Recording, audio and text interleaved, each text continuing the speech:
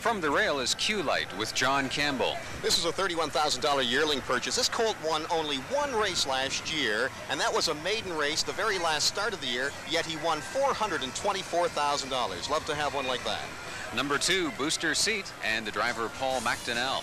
Booster Seat was a $4,500 yearling purchase. Uh, Blair Burgess tells us the reason he's here today is because of his strong performance in the Simcoe Stakes at Mohawk Raceway, where he finished second to Stornoway Mac. Number three, Z28 with Bill O'Donnell. Private purchase for Z28. He is carrying the colors for the state of Ohio. This colt, Z28, is the fastest Ohio bred ever with a record of 152 and 2 at Springfield. And number four, Rain God, teamed with Benny Webster. Rain God, uh, we need some help here if you like uh, to get yourself, uh, uh if you're looking for a, a hook here, Rain God might be for you. He's purchased for 40000 He really doesn't belong here today. Number five, Landy Hanover, Chris Boring drives. Landy Hanover was sold for $77,000. He is owned by the Proudfoot Farms. They won the Little Brown Jug back in 1984 with a horse called Colt 46. Number six, Golden Creek with Tom Haughton.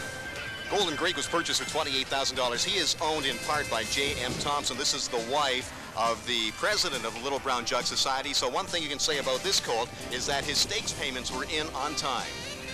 And number seven, Maximilian Hanover, and teamed with Del Insko. Well, Maximilian Hanover was purchased for $27,000. He won $173,000 last year. Been off for a while, just qualified at Roosevelt Raceway, and he's got a record of 154 and 3.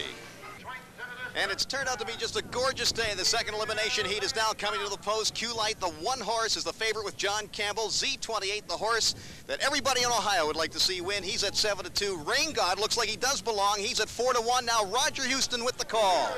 Up and Facing Booster Seat goes right out for the lead. Q-Light down along the rail. Z28 drops in third. Landy Hanover on the outside. Here comes Z28 on the move on the outside. Rain God racing fifth. Sixth on the outside. Golden Greek treading the field. Maximilian Hanover. Down on the backside they go. Up on the outside. Z28. Here comes Landy Hanover. Three wide on the outside past the quarter in 28 and 4 as they race into the turn. Moving up on the outside with a rush, Golden Greek. Now second and going after leader, Landy Hanover. In at the rail third, Z28. Racing fourth, Booster Seat. Fifth at the rail, Q-Light. Rain God six. Training the field, Maximilian Hanover. Down the lane they come. Golden Greek on the outside has taken the lead at the half. 56 and 2. 27 and 3. Second quarter, around the final turn. Landy Hanover is second. Out and moving the outside. Z28. Now third and coming on. Booster Seat is fourth. Q-Light the outside. Rain God six. Maximilian Hanover trails the field. Down the backside they go. Golden Greek by a length. Up on the outside. Now second. Z28 three quarters, one at 26 until 30 seconds flat, third quarter, around the final turn, Golden Greek by a half, Z28 on the outside, Landy Hanover at the rail, on the outside, Booster Seat, Rain God at the rail, Q-Light on the outside, less than an eighth of a mile to go, Z28 on the outside, Golden Greek at the rail, it's Z28 and Golden Greek, Z28! One, 55, four fifths.